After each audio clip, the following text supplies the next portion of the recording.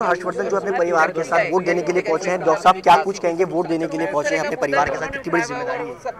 ज़िम्मेदारी क्या है भाई? वोट डालना तो जो है ये सबका एक बेसिक अधिकार भी है कर्तव्य भी है ज़िम्मेदारी भी है और स्वाभाविक है कि हम इस क्षेत्र के अंदर शुरू से रहते हैं यहाँ हमारा वोट है। तो आज के दिन में तो सबसे पहला काम हमारी ज़िम्मेदारी के रूप में यही है कि हम अपने मताधिकार का प्रयोग करें। मुद्दे क्या क्या मानते हैं? मुद्दे क्या मुद्दे तो बड़े स्पष्ट हैं कि मोदी जी ने देश में बहुत अच्छा काम किया है। हमारे नगर निगम ने भी 10 साल में बहुत अच्छा काम किया है। इसको आगे बढ़ाना है। मोदी जी के सपनों की दिल्ली को वोट दिया भारत की और दुनिया की सर्वश्रेष्ठ शहर राजधानी के रूप में परिवर्तित करना है।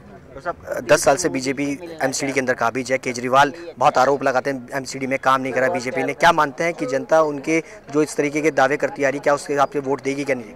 अब जनता ने तो अपना नतीजा आपने देखा राजौरी गार्डन में ही दिखा दिया। तो मेरा ख्याल से राजौरी गार्डन सीट के ऊपर चुनाव हुआ उसमें वो हमसे 40 प्रतिशत पीछे हैं। आप अंदाज़ा लगा लीजिए कि जनता क्या सोच रही है। और जो सारे देश भर में जाकर दुष्प्रचार करते थे बड़े बड़े सपने लेते थे तो गोवा की जनता ने, पंजाब की जनता ने भी जो है उनको फैसला करके दिखा दिया है। वो तैयारी कर रहे हैं कि 26 तारीख को क्या कहना है। इसलिए ये वोटिंग मशीन को उन्होंने बहुत दिन से बदनाम करना शुरू कर दिया है। हमारे साथ उनकी डॉक्टर साहब की वाइफ भी मौजूद है। मैम आपसे जानना चाहूँगा किन मुद्दों को लेकर के वोट दिया है मुद्दे कोई अलग से स्पेशल नहीं है। मेरे को मोदी जी की काम की वजह से मैंने वोट दिया। मोदी जी ने स्वच्छता अभियान चलाया। तो उसके ऊपर वोट दिया क्योंकि कितनी तत्परता से वो इस अभियान को लेकर चल रहे हैं। तो समय तो लगता है कोई काम पूरा होने के लिए। और हर गरीब व्यक्ति उस आखिरी व्यक्ति तक का भी विकास करना चाहते हैं जो दीनदयाल उपाध्याय जी की सोच है उसको वो पूरा कर रहे हैं। तो ये यही मुद्दे हैं। बाकी चेंजेस तो धीरे धीरे आपको भी नज़र आ रहे हैं और हमारे सामने और भी दिल्ली में भी अब और नज़र आएँगे। शुक्रिया हमारे साथ डॉक्टर साहब की मदर भी मौजूद है। आपसे जानना चाहूँगा किन मुद्दों को लेकर के आपने आज वोट दिया है इस उम्र?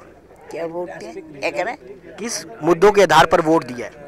मोदी जी के काम पे। बच्चे बहुत अच्छा काम कर रहे हैं। मेरे तो बच्चे ही हैं वो।